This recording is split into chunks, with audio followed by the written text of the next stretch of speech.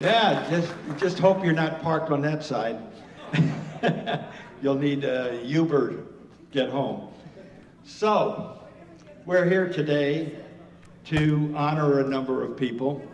Primarily, 16 years ago, well, actually 17 years ago, Wings Over Wendy's was a group of a dozen people having breakfast, or no, they're having uh, afternoon, they're having lunch at the Wendy's restaurant. And um, uh, they were talking aviation, and uh, as it came up into to August, uh, Wings Over Camarillo was uh, in operation, and they were all members uh, going out to Wings Over Camarillo. And somebody said, you know, that would be a catchy name for our organization. Let's call ourselves Wings Over Wendy's. So they, they coined that term, and somewhere along the line, uh, Crash Bleckman knew Dennis McCarthy, and Dennis got invited to have have lunch with him one afternoon and thought, you know, this is a crazy bunch. I'm going to write it up in my column. Dennis is always looking for interesting subjects. So he published it. That was in August 16 years ago. The next week, Monday noon, 40 people showed up. And then it grew to 50. And then it grew to 60. And then Ron Ross said, hey guys, you're really ruining my after, after school crowd because you're sitting here all afternoon and you're only buying one or two hamburgers. And uh, so I'll tell you what, I'll give you the keys to the place because I don't serve breakfast and you can take the place over in the morning. So we switched to having the morning breakfast. Uh, and we only missed once in the last 17 years a meeting, and that was because Christmas this year happened to fall on a Monday, and Wendy's wasn't open that day. But that's the only time we have missed. So uh, we're heavily indebted to one Dennis McCarthy. And Dennis, if you'd come up here,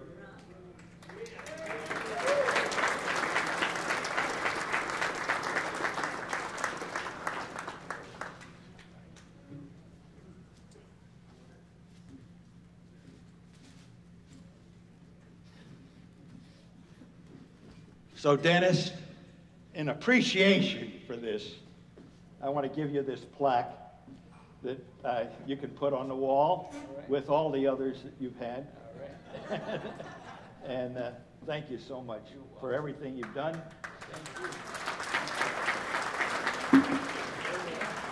Up. Oh, the plaque. You want a picture? Let me get this out.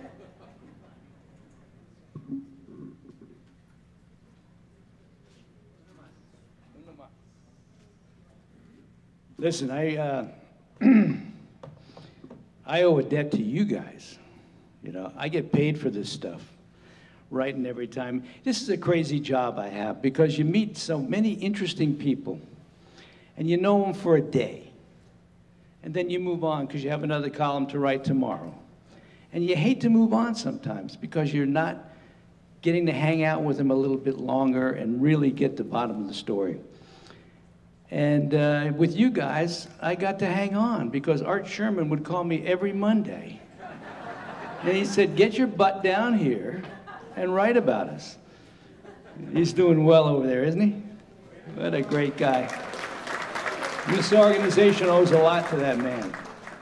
Absolutely. And to Crash. You all know Crash's story, so I'm not going to repeat it. But they never let him get up and get the food at Wendy's because sometimes he'd bring it back and he'd fall, he'd trip, whatever it was. He was dropping stuff all the time. Anyway, like I said, it's, it's been an honor for 16 years to have you guys. You know, one day, there's no kids in this room, is there? I got a little bit of a story to tell. You know, newspaper guys, we're full of it. So I get a call one day, and it's from Nick Nolte, the actor. And he's doing a movie called I Love Trouble. And it's in the 90s.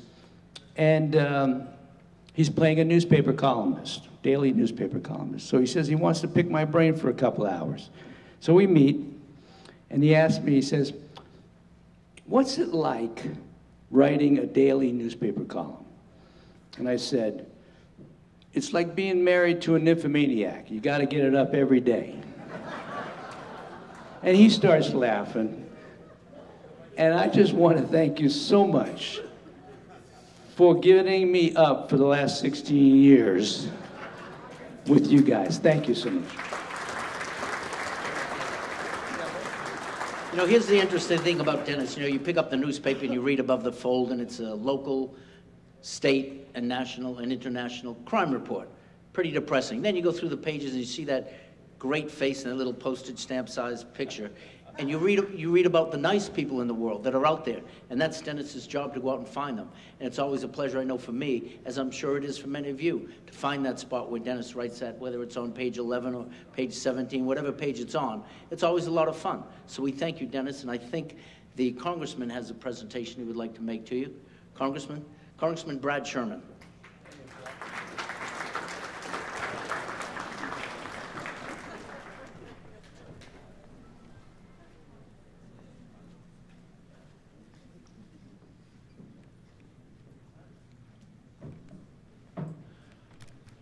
Hello, I'm Brad Sherman from America's best named city, Sherman Oaks, and it's been an honor to represent most of the San Fernando Valley in the United States Congress for more years than I'm willing to mention.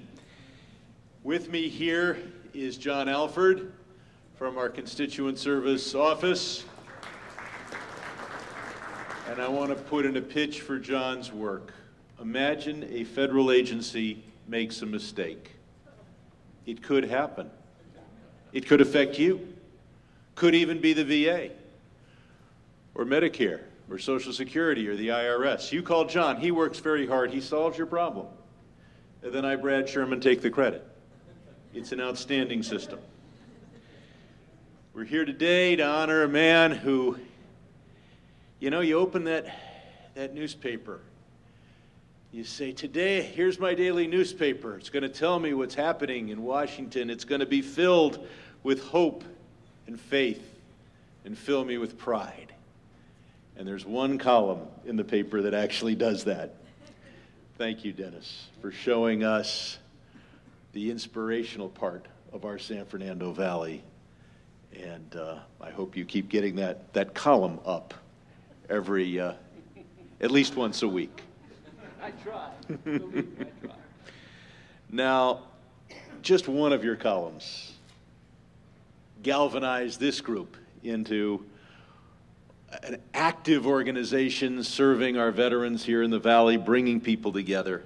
And how many columns have you written? About 5,500. 5,500 columns. And just one of them is why we're here today. Dennis, one of the neat things I get to do as a member of Congress is to get one of the flags that's flown over the Capitol and to give it to someone who is of outstanding service to us here in the San Fernando Valley. Thank you. I was hoping for a poem. you have more use for one than I do. Um, you know, reporters are a skeptical lot. And Dennis just might be wondering how he can be sure that that flag actually flew over the Capitol. Hold the flag. He's seen me at Target. They do sell flags there. Well, Dennis, if you can't trust your local congressman, then perhaps it's wise that I also brought you a certificate of authenticity to remove any doubt and to assure you this flag did indeed fly over the nation's capital. Thank you for what you've done for us 5,500 times.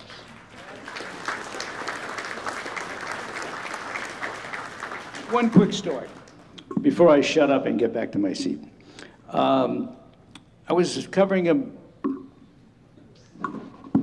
five guys on death row. That was the last story I did before I started the column. And I came back and I said to the uh, editor, I said, I'm done. I'm tired of writing about the negative people out there, the people that are doing all the stuff, the bad stuff. I want to start writing about the winners. And he said, quote, nobody wants to read about that. And I said, you're wrong. Give me a shot. Yeah, 16 years later, here we are. You are the winners.